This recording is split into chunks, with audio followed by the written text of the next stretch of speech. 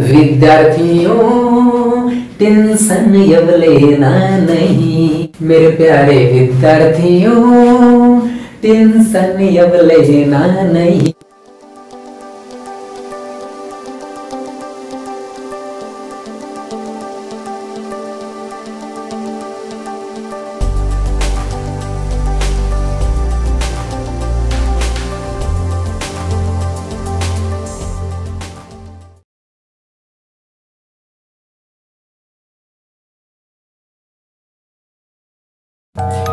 माँ आ गेलिए स्कूल से पढ़ के खाना खा दे। आ गेली बेटा पढ़ के स्कूल से हाँ माँ आ गेली हूँ आज स्कूल में का का पढ़ल बेटा। ये माँ का का पढ़ली हो कुछ हुआ नहीं? को सब घर या बताओ तो भुलाई गेली का लिखे पढ़िस रे बेटा किताबें भुलाई जाती है। अगे माँ मास्टर मन अच्छा से बताती तब नहीं याद रहता। सही बोल रहे हो साहब। कोई मास्टर अच्छा से बताओ भी थी तो डिटेल करके नहीं बताती। अब तू ही बोलता सब कैसे आई थी oh, no. हम्म ये सब बात तय है। यस मेरे प्यारे विद्यार्थी लगभग सभी कमज़ोर विद्यार्थियों की प्रॉब्लम यही है कि उन्हें पढ़ाई में रुचि तो रहती है किंतु शिक्षक से ज्ञान अच्छे से मिल नहीं पाता। यदि कोई शिक्षक अच्छे से पढ़ाते भी हैं तो डिटेल से वह विद्यार्थी की क्षमता या समझ के अनुसार नहीं बताते। हालाँकि सबके सब टीचर ऐसा नहीं है, लेकिन अधिकांश ऐसे ही हैं। खैर, दुनिया का छोड़िए और मेरी सुनिए। विद्यार्थियों लेना नहीं। मेरे प्यारे विद्यार्थियों, टेंशन अब लेना नहीं। यूट्यूब है आज के खोल। तुम सबके लिए वैभव सर। यूट्यूब पे है आज के खोल। प्लस टू एकेडमी दे दुलरे। विद्यार्थियों, टेंशन अब लेना नहीं। मेरे प्यारे विद्यार्थियों, टेंशन अब लेना नहीं। जी हाँ मेरे प्यारे विद्यार्थी, अब आपको पढ़ाई के प्रति जरा भी टेंशन नहीं लेने का। क्योंकि आज से मैं सर्वैभव मोहन हूँ आपके साथ। मेरे तरफ़ से है सबको सुप्रभात। चलिए करते हैं कक्षा की शुरुआत। लेकिन हाँ बचा रहेगा बात। आखिर फायर फायर की वीडियो देखे से पहले। वीडियो के नीचे जो लाल कलर के सब्सक्राइब लिखन देखा था के दबाई के सब्सक्राइब कर लीजिए और बगल वाला घंटिया दबाई के और के सेलेक्ट करते हो? तो ना छोड़, नहीं का ज़्यादा हो जाए तो। चलिए, एक नई जोश और एक नई उमंग के साथ क्लास स्टार्ट करते हैं। First of all we tell the class routine of year which will be in the following way okay?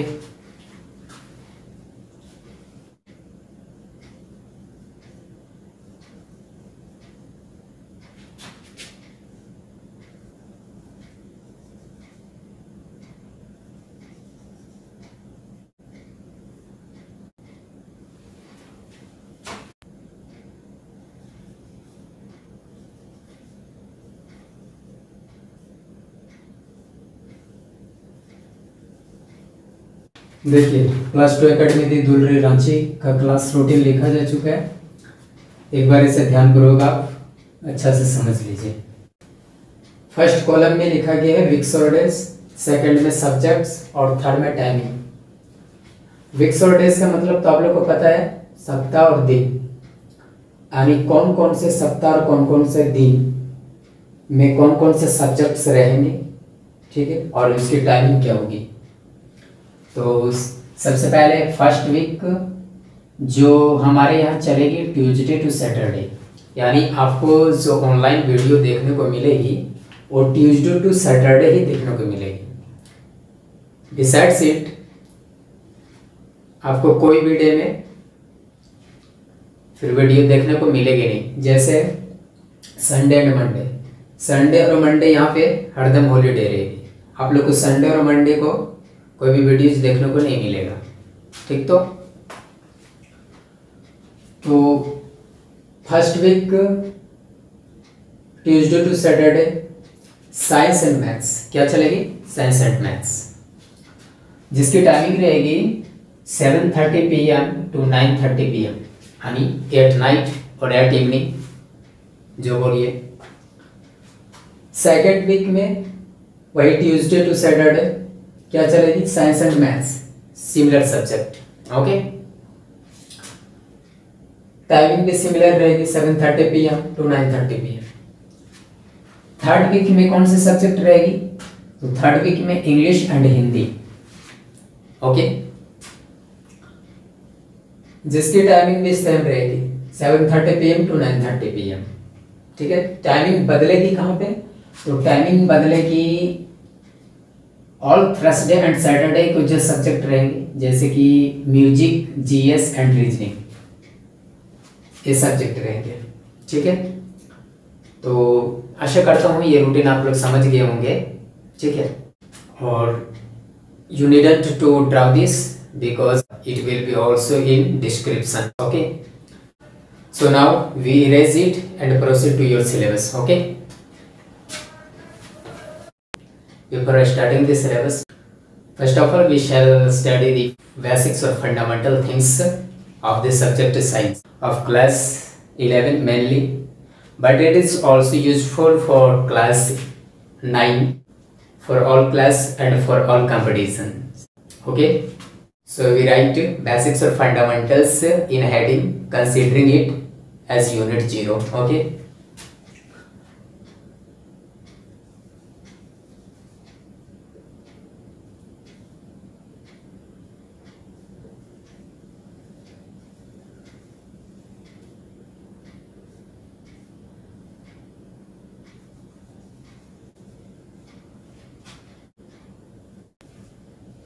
Listen guys, you have to care that your book or syllabus has 10 different units, which names we shall discuss later.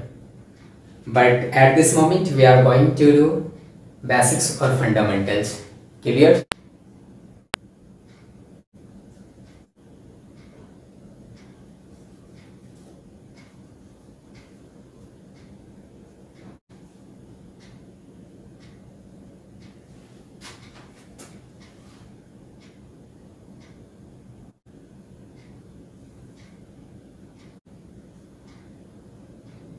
Before starting this unit, we see the topic overview. In this unit, first topic we have to read is definition of science.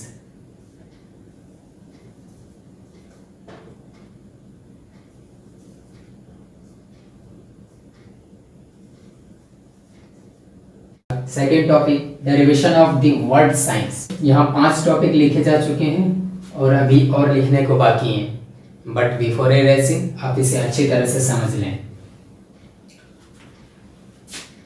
पहला जो topic है, वो definition of science यानी विज्ञान का परिभाषा। विज्ञान का परिभाषा पढ़ना डेफिनेशन ऑफ़ साइंस आप क्या कहोगे? सर जिससे हवाई जहाज़ बनती है, जिसके मदद से लोग हेलीकॉप्टर बनाते हैं, जिसके मदद से धरती की खुदाई की जाती है, उसे ही साइंस कहते हैं। बट नहीं। साइंस इसे नहीं कहते साइंस का एग्जैक्ट डेफिनेशन क्या है, ये हम लोग देखेंगे। जब सारे टॉपिक्स ओवरव्यू खत्म हो जाते हैं तो हम लोग एक एक करके हर एक टॉपिक को डिटेल्स में देखेंगे, ठीक है? Second topic derivation of the word science यानी वर्ड साइंस विज्ञान शब्द की उत्पत्ति, ठीक है? विज्ञान शब्द की उत्पत्ति कैसे हुई, कहाँ से हुई, ठीक तो? इसमें कौन सा देश का योगदान था? या फिर किस वर्ड से साइंस को लिया गया? यही चीज़ इसमें पढ़ना है। थर्ड जो है, वो है what do we call them who discovers और इन्वेंट्स और research something related to science इसका मतलब हुआ कि हम लोग उन्हें क्या कहते हैं? किन्हें क्या कहते हैं? हु डिस्कवर्स जो खोज करता है या आविष्कार करता है। इन्वेंट्स मीन्स आविष्कार करता तो आविष्कार करता है या रिसर्च यानी शोध करता है। क्या शोध करता है? समथिंग रिलेटेड टू साइंस तो साइंस से रिलेशन संबंध रखने वाले कोई भी चीज़ का यदि कोई आविष्कार करता है या खोजता है या रिसर्च करता है यानी शोध करता है तो हम उसे क्या कहते हैं? क्लियर फोर्थ टॉपिक जो हमें पढ़ना है, वो है who used the word science first time word science को फ़र्स्ट टाइम किसने यूज़ किया था? ठीक है? फिफ्थ टॉपिक जो पढ़नी है, वो है who is considered to be first scientist in the world यानी पूरे दुनिया में जो फ़र्स्ट साइंटिस्ट है, वो किन्हें बोला जाता है? किन्हें माना जाता है? Okay similarly I shall draw all the topics you have to note that okay see guys there are more topics understand it first okay six topic will be full forms of science यानी science का full forms science का full form जानना है हमें कि science में S for क्या होता है? सी फॉर क्या होता है? आई फॉर क्या होता है? ई फॉर क्या होता है? एन फॉर क्या होता है? सी फॉर क्या और ई फॉर क्या? Okay seventh will be short form और शॉर्ट नेम और एब्रिविएशन ऑफ़ साइंस कहने का मतलब कि साइंस को हम लोग शॉर्ट फॉर्म में क्या बोलेंगे? एब्रिविएशन जिसे संक्षिप्तता हिंदी में कहते हैं। तो साइंस का शॉर्ट नेम जानेंगे। आठवां टॉपिक होगा फादर ऑफ़ साइंस यानी साइंस के पिता कौन है? ये जानेंगे। आप अपना बाप अपना माँ को तो जानते हैं, लेकिन साइंस के पिता और साइंस के माता कौन है, शायद आपको ना मालूम हो। लेकिन हम लोग टॉपिक ओवर भी खत्म होने के बाद एक एक चीज़ को, सारे चीज़ को डिटेल से देखते जाएँगे। और ये भी चीज़ आएगा कि साइंस के पिता कौन है और साइंस के माता कौन है। Tenth topic will be scope of science यानी साइंस का क्षेत्र। साइंस का क्षेत्र कहाँ तक फैला हुआ है?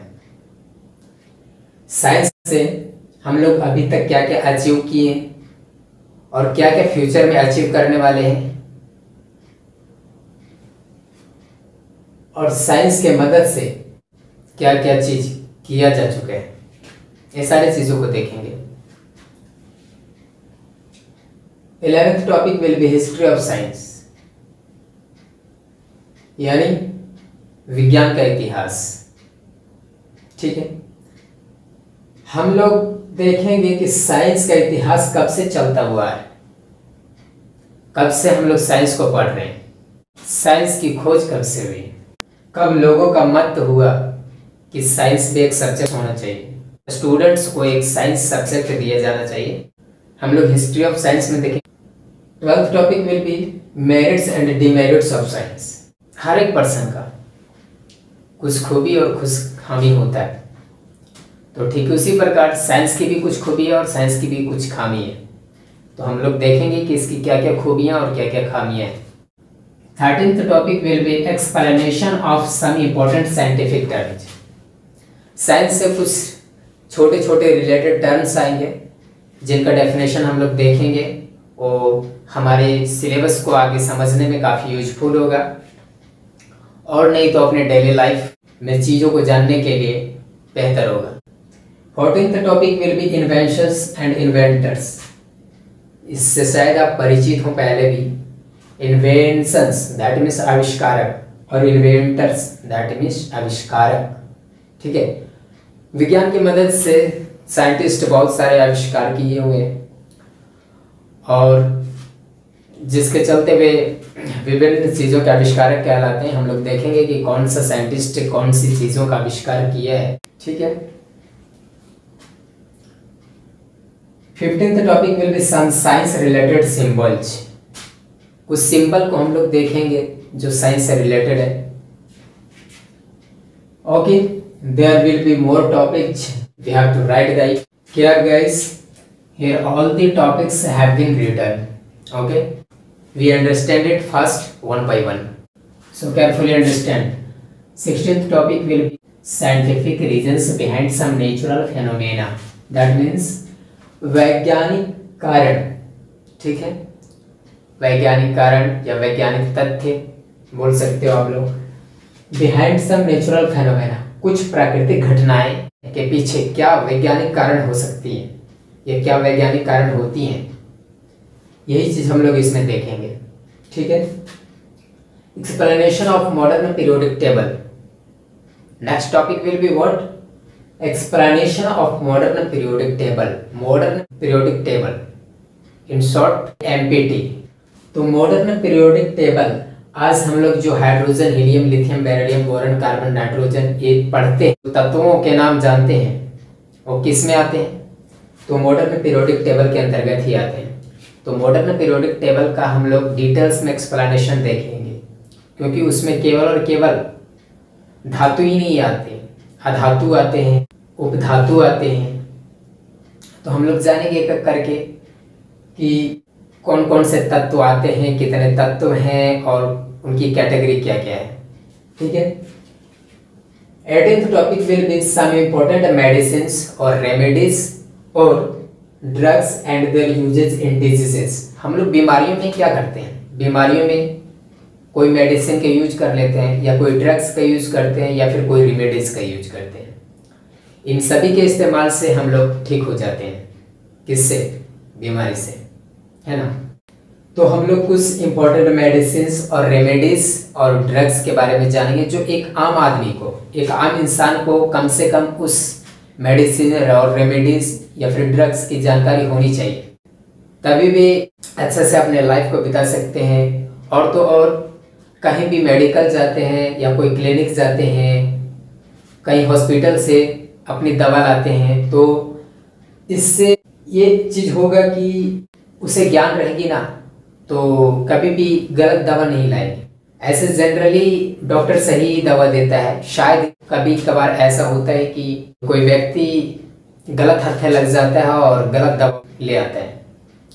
तो अगर जानकारी रहेगी आपको तो फिर आप सही दवा लाएँगे और जानकारी रहेगी तो आप खुद का डॉक्टर बन सकते हैं। ओके नाइनटीन यानी उन्नीसवा टॉपिक होगी resources of vitamins carbohydrates proteins and fats ठीक है? विटामिन कार्बोहाइड्रेट्स प्रोटीन्स फैट्स के कौन कौन से रिसोर्स हैं? है ना? आम क्या चीज़ में आता है? विटामिन में आता है या कार्बोहाइड्रेट में आता, या फिर प्रोटीन्स में आता, या फैट्स में आता। तेल क्या चीज़ में आता है? फैट्स में आता है, या फिर प्रोटीन कार्बोहाइड्रेट यही सारी चीज़ों को हम लोग देखेंगे। Next topic will be branches और टाइप्स ऑफ़ साइंस यानी साइंस के कौन कौन से ब्रांच हैं कौन कौन से टाइप्स हैं। है ना? बहुत लोगों को शायद ये लग रहा हो, ये चीज़ें तो पहले ही लिखा जाना चाहिए था बट नहीं। ये चीज़ को मैं अंत नीचे साइड में इसलिए लिखा हूँ, क्योंकि यहाँ से अब मेन टॉपिक स्टार्ट होगी साइंस के जो मेन ब्रांचेज हैं, उन सभी का स्टडी स्टार्ट होगी मैं ऊपर का हेडिंग में जो सब्जेक्ट लिखा हूँ, वो केवल और केवल साइंस लिखा हूँ। वो इस कारण बिकॉज़ हम अभी साइंस ही पढ़ रहे हैं। हम सेपरेटली फिजिक्स, केमिस्ट्री और बायोलॉजी नहीं पढ़ रहे। हम साइंस पढ़ रहे हैं और ये साइंस में हम लोग फिजिक्स, केमिस्ट्री, बायोलॉजी तीनों पोर्शन को देख रहे हैं। ठीक है? तो ये तीनों पोर्शन फिजिक्स, केमिस्ट्री, बायोलॉजी, तीनों के मेटेरियल है। आगे मैं केमिस्ट्री पढ़ाऊँ, बायोलॉजी पढ़ाऊँ या फिजिक्स पढ़ाऊँ तो एक एक करके इन सारी चीज़ों को नहीं लिखाऊँगा। ये तीनों चीज़ें, तीनों सब्जेक्ट्स फिजिक्स, केमिस्ट्री, बायोलॉजी, तीनों के लिए आप फिजिक्स का नोट्स बनाना स्टार्ट करोगे, या फिर केमिस्ट्री का बनाना स्टार्ट करोगे, या फिर बायोलॉजी का बनाना स्टार्ट करोगे। आप यूनिट ज़ीरो बेसिक्स और फंडामेंटल्स नेम दे करके और आप तीनों के नोट्स में यही चीज़ सेम चीज़ को उतार सकते हैं। आपकी मर्ज़ी, आप चाहें तो एक ही सब्जेक्ट में इसे उतार सकते हैं, आप चाहें तो दोनों या तीनों में उतार सकते हैं। लेकिन जहाँ तक मेरी सलाह रहेगी कि आप तीनों सब्जेक्ट्स फिजिक्स केमिस्ट्री बायोलॉजी तीनों में इसे उतार लीजिएगा, ताकि आपका नज़र जो है, वो हमेशा इन बेसिक्स और फंडामेंटल्स चीज़ पे बना रहे। यदि ये सारी नॉलेज आपको माइंड में रहेगी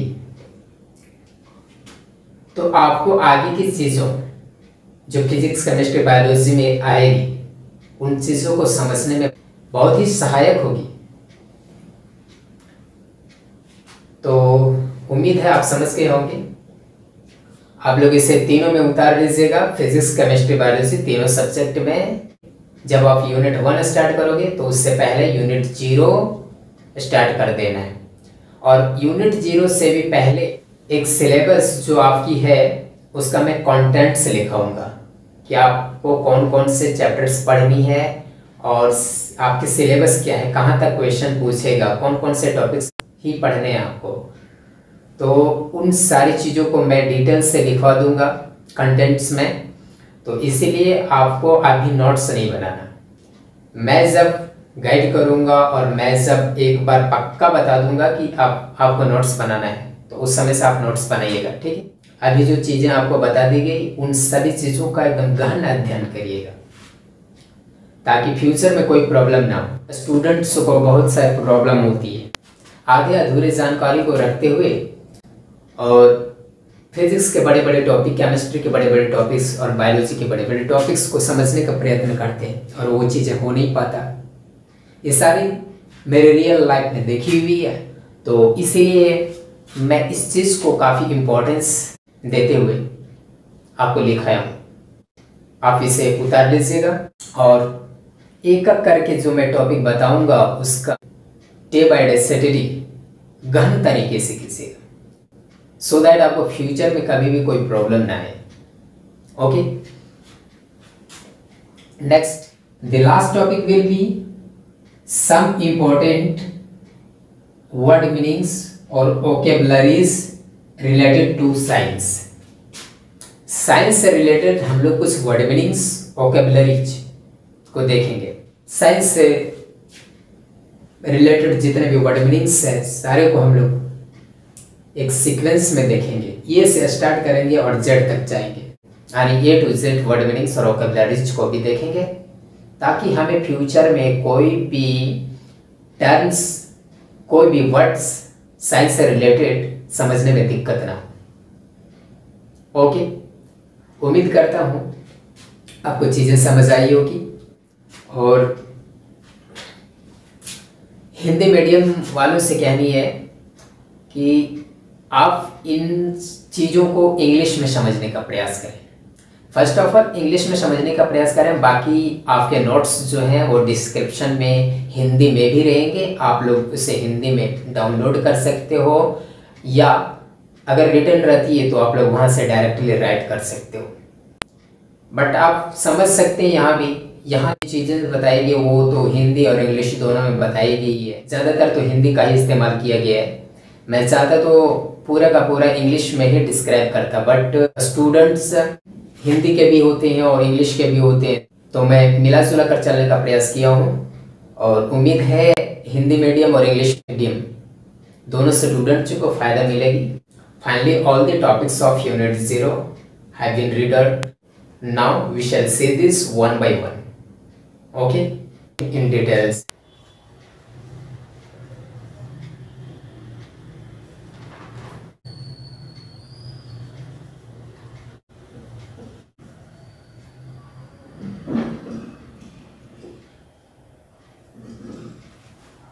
First of all, we know the first topic. This is definition of science.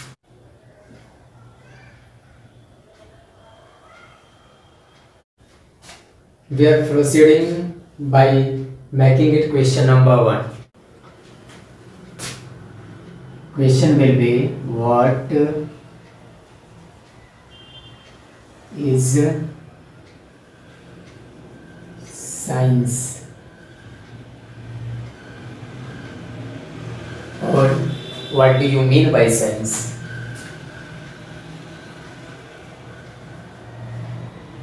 What do you mean by science or define science? Okay. Last question will be define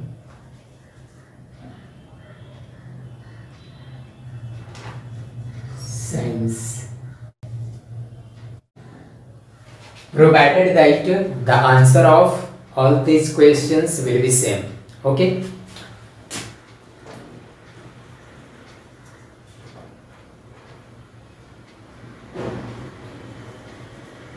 What we have to know definition of science definition of science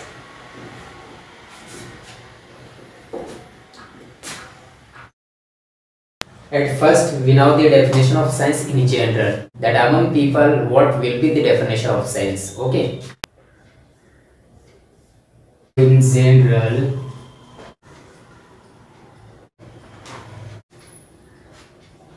this systematic.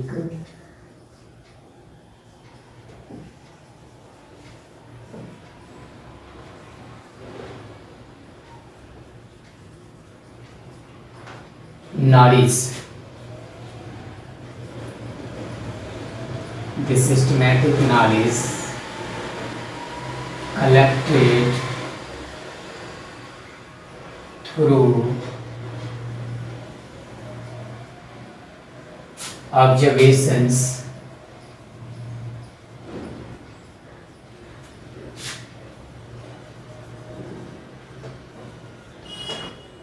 observations experiment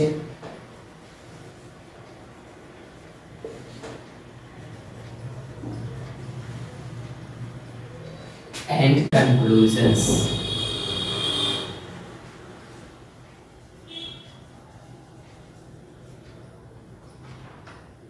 is called science okay?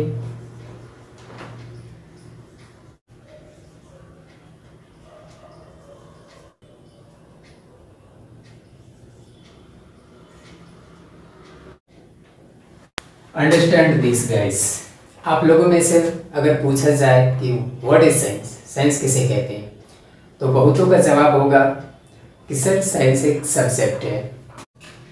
But that isn't so enough okay I detail में जानते हैं कि science किसे कहते हैं। In general सामान्य शब्दों में the systematic knowledge collected through observations experiment and conclusions is called science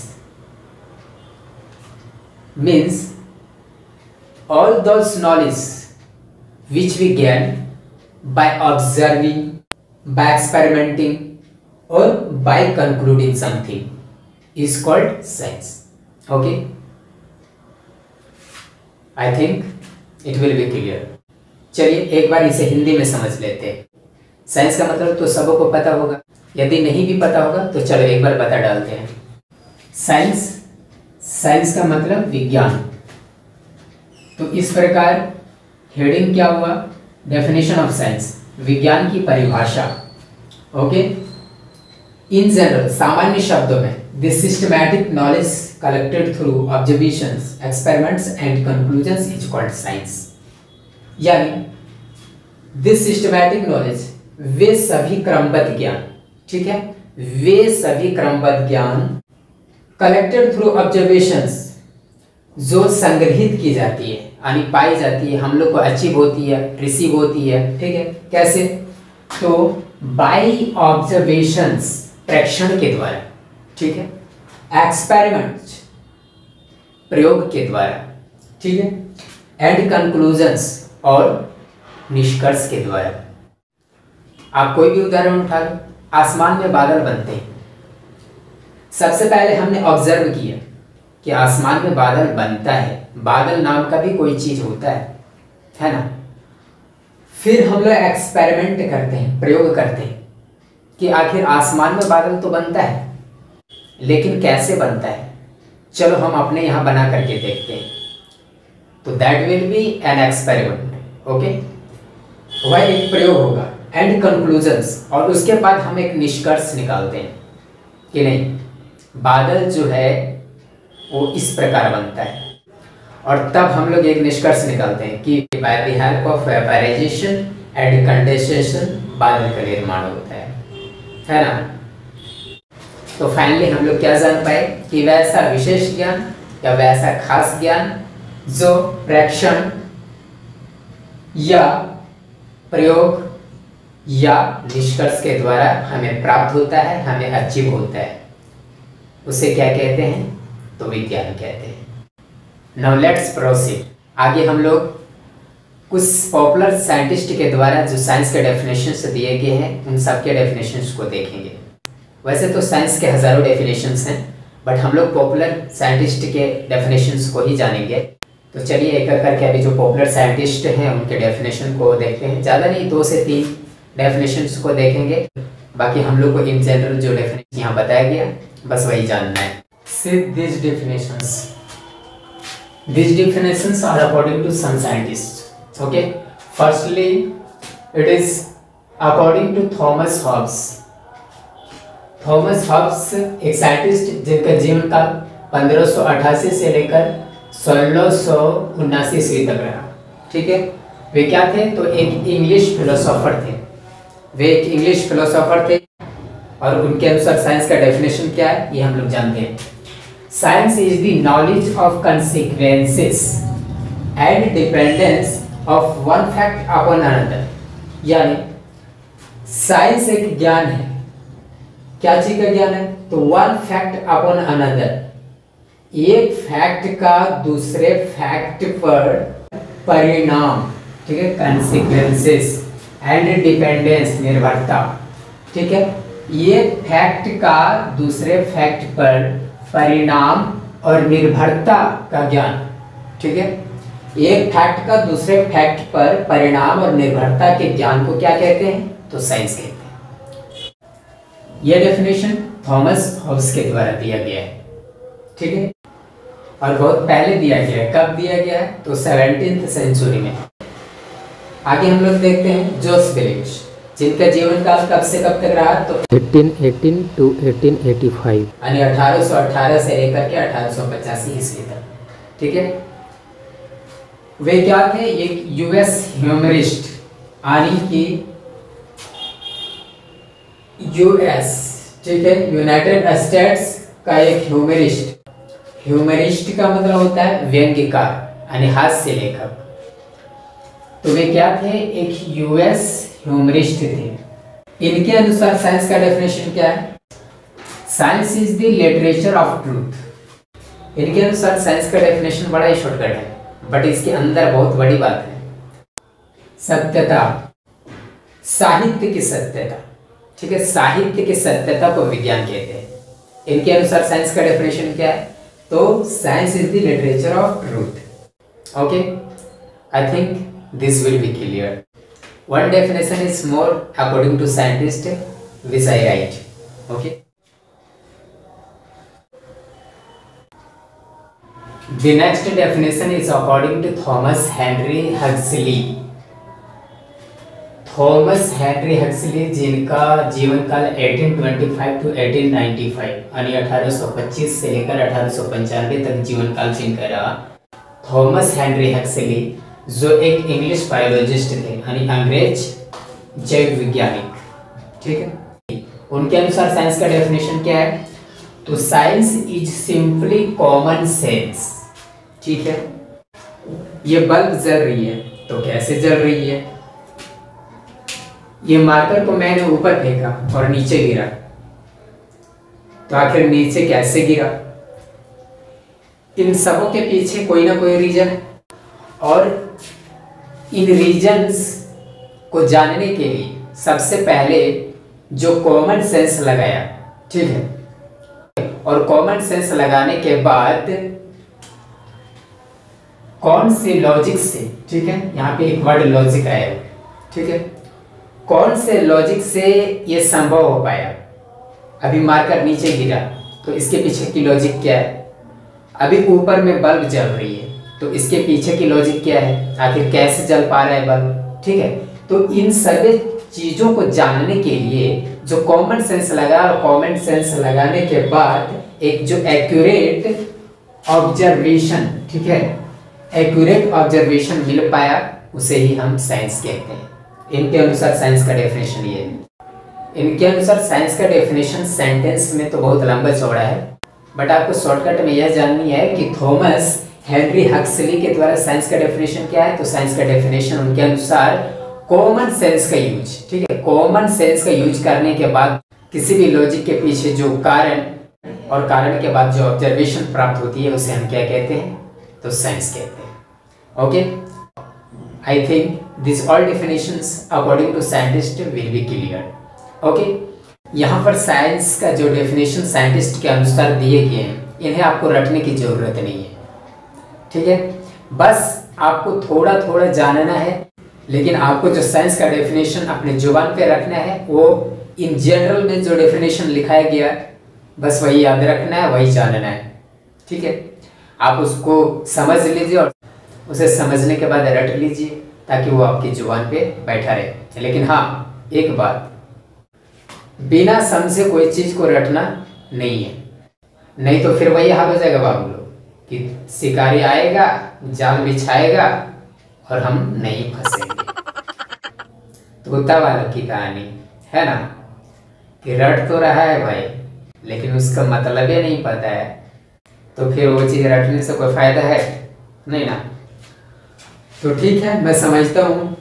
आप लोग समझदार हैं और कोई भी डेफिनेशन को या कोई भी टर्म्स को या कोई भी चीज़ को बिना समझे नहीं रटेंगे ठीक है? तो इस डेफिनेशन को भी आपको रटना नहीं है। ठीक है? खास करके इन डेफिनेशन को आपको रटना नहीं है। ठीक है? रटना कौन सा है? तो इन जनरल में जो आपको डेफिनेशन लिखाया गया। Okay now I proceed to next topic which is derivation of science okay यानी साइंस की उत्पत्ति, विज्ञान की उत्पत्ति कौन से शब्द से हुई? ठीक है? तो in English question what will be see from which word from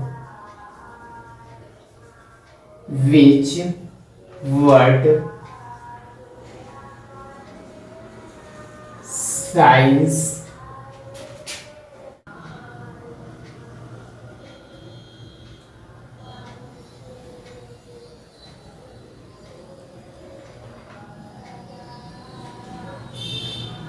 science is derived.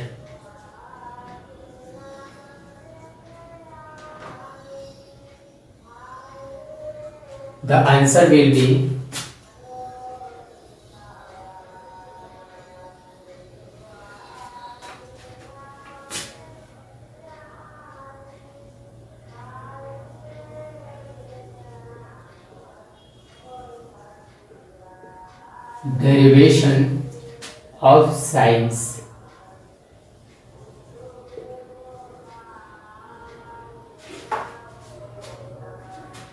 से गैस साइंस की उत्पत्ति यानी डेरिवेशन जो हुई है वो लैटिन वर्ड वो एक लैटिन वर्ड साइंसिया ठीक है? साइंसिया साइंसिया जिसका मतलब होता है to know what to know और टू नो का मतलब पता है आप लोगों को? जानना, ठीक है? जो एक वर्ब है। तो साइंस का उत्पत्ति कहाँ से हुआ है? तो एक लैटिन वर्ड साइंसिया साइंसिया की मदद से साइंस शब्द की उत्पत्ति हुई है। ठीक है? साइंसिया का मतलब क्या होता है? टू नो जानना। ठीक है? तो what will be description here see from the Latin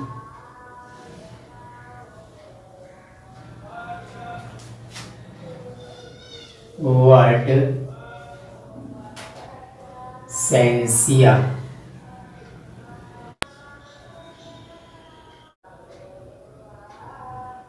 which means to know okay. Which means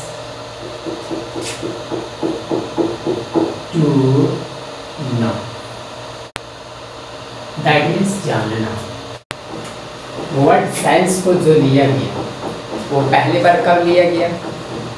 तो mid of sixteen and seventeen century okay तो इसे लिख डालते हैं। टेकन बाई एक चीज़ और, इस वर्ड साइंस को लिया किसके द्वारा गया था? इसमें किन लोगों का योगदान था, किन कंट्रीज़ का योगदान था? तो इसमें कोई एक खास कंट्री का योगदान नहीं था। इसमें पूरे दुनिया के जितने भी नेचुरल फिलोसोफर्स थे आजकल हम लोग साइंस जानने वाले को साइंटिस्ट कहते हैं बट उस टाइम में साइंस जानने वाले को लोग नेचुरल फिलोसोफर कहते हैं, ठीक है? तो हम लोग ये कहेंगे कि उस टाइम ठीक है, कब सिक्सटीन एंड सेवनटीन सेंचुरी के मध्य में, ठीक है, जो नेचुरल फिलोसोफर्स थे, उनके द्वारा साइंस वर्ड का इस्तेमाल किया गया था पहली बार, ठीक है? उनके द्वारा साइंस वर्ड को लिया गया था पहली बार। तो हम लोग लिखेंगे क्या? Taken by natural philosopher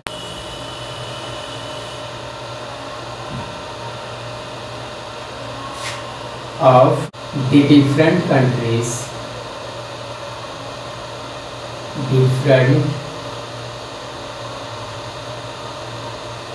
countries in the mid of mid of 16 to 17 century understand it once again ठीक है साइंस का डेरिवेशन कहाँ से हुआ?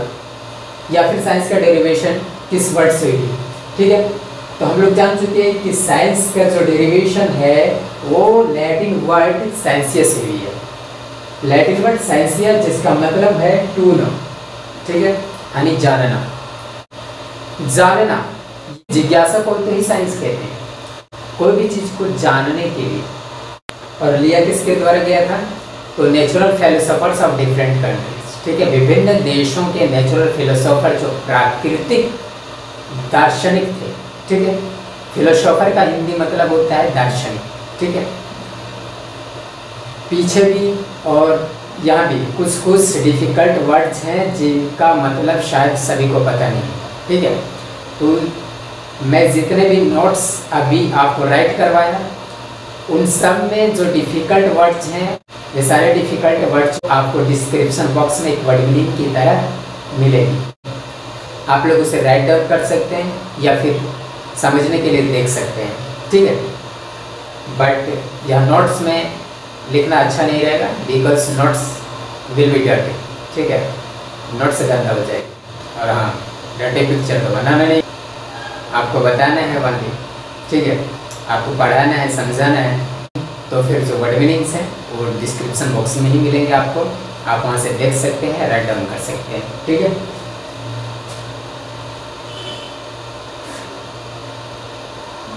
तो नेचुरल फिलोसोफर ठीक है? जो प्राकृतिक, दार्शनिक थे, उनके द्वारा लिया गया था, ठीक है? जो कहाँ के रहने वाले थे? तो विभिन्न देशों के रहने वाले थे, ठीक है? अलग अलग देशों के रहने वाले थे। और इस वर्ड को, यानी साइंस वर्ड को साइंसिया नामक शब्द से कब लिया गया था। तो mid of sixteen to seventeen century यानी सोलहवीं और सत्रहवीं सदी के मध्य में। ओके क्लियर आई थिंक जितनी भी सारी चीज़ें आपको बताया गया, पढ़ाया गया, वो सारी चीज़ें आपके दिमाग के अंदर सीधा घुसा होगा, धसा होगा, है ना? फिर भी अगर कोई डाउट रह जाती है तो कमेंट बॉक्स पढ़ा है ना भाई? धनाधन कमेंटिंग से मैं कहे को आया हूँ यहाँ पे? आपके कमेंट का ही जवाब देने के लिए। पढ़ाऊँगा भाई। तो फिर मन लगा खुद भी मन लगाऊँगा और आपका भी मन लगवा दूँगा ठीक है? पढ़ाई आपको अब बोझिल नहीं लगेगी। बस आपको करना क्या है? तो इस चैनल ठीक है? प्लस टू एकेडमी दी दुलेरी ठीक है? रांची यहाँ पे लिखा हुआ है। तो रांची में हमारा एकेडमी है, बस इसीलिए यहाँ पे रांची लिखा हुआ है बट हमारा जो चैनल है, वो प्लस टू एकेडमी दी दुलेरी ठीक है? प्लस टू एकेडमी दी दुलेरी यहाँ तक ही चैनल का नाम, ठीक है? तो इस चैनल को आप लोग सब्सक्राइब कर लीजिए, अपने दोस्तों से सब्सक्राइब करवाइए, और ज़्यादा से ज़्यादा शेयर कीजिए, ठीक है? आप लोग यदि हमें सपोर्ट करते हैं तो फिर गारंटी देते हैं। कि अब तक जो आपको पढ़ाई बहुत बोझिल लग रही होगी ना, उसे आप पानी पानी करोगे, वो दिन दूर नहीं होगा, ठीक है? बस एक विश्वास बनाए रखना और जितना हो सके हमें सपोर्ट करना, ठीक है भाई? बहुत ही अथक प्रयास के बाद, आज लगभग चार से पाँच सालों बाद, ठीक है? बहुत ही व्यवस्था करते हुए अपने एकेडमी को ओपन कर पाया हूँ और चैनल क्रिएट कर पाया हूँ, ठीक है? तो आप लोग से बस ये रिक्वेस्ट रहेगी कि आप लोग चैनल को ज़्यादा से ज़्यादा सब्सक्राइब कीजिए और वीडियोस जो आती है उसे लाइक, शेयर और कमेंट कीजिए, बिना कहे पूछे। ठीक है? इसमें हम कहेंगे नहीं भैया। मुझे जो कहनी थी, पढ़ानी थी, वो मैं पढ़ा चुका, बता चुका। ठीक है? अब आपकी फ़र्ज़ की जो चीज़ें रही, वो आप पर डिपेंड करता है कि आप क्या करोगे। आप यदि सपोर्ट मुझे करोगे तो मैं लगातार कंटिन्यू रहूँगा। यही जोश और उमंग के साथ। है ना? तो मैं समझता हूँ। आप लोग हमारे साथ रहेंगे। ठीक है? और आज के लिए इतना ही। बाकी हम लोग नेक्स्ट डे देखेंगे आगे के टॉपिक्स को। नेक्स्ट डे जो क्लास होगी, वो नेक्स्ट ट्यूसडे को होगी। ठीक है? अभी एकेडमी की अरेंजमेंट पूरी तरह से नहीं हो पाई है, इसलिए अभी क्लास कंटिन्यू नहीं होगा। ठीक है? क्लास जो कंटिन्यू करूँगा, फिर वो अगले ट्यूसडे से करूँगा और अगले ट्यूसडे से फिर क्लास कंटिन्यू ही रहेगी। ठीक है? तो तब तक आप लोग को जितनी सारी चीज़ें बताएगी आप लोग उसे अच्छी तरह से रिवाइज कर लीजिएगा और अच्छी तरह से समझ करके आप कीजिएगा ठीक तो? ये तो अभी ट्रेलर थी। पूरी पिक्चर और मूवी अभी बाकी है भाई। तो धैर्य रखिएगा। पैसेंस खोने दीजिएगा। नहीं तो पछताओगे भाई। ठीक है? अंत में चलते चलते मैं आप लोगों से एक बात कहना चाहता हूँ कि अब तुमको तो पढ़ाई के लिए यहाँ से वहाँ न भटकना है। मैं जो पढ़ाऊँ, मन लगा कर बस वही पढ़ते ही पढ़ते रहना है। वही पढ़ते ही पढ़ते रहना है। विद्यार्थियों, टेंशन अब लेना नहीं। मेरे प्यारे विद्यार्थियों टेंशन अब लेना नहीं लाल कलर का आइकन दबा के चैनल को सब्सक्राइब कर लो. अब तुम्हें है पढ़ना यही. Bye bye take care yourself जय जय भारत.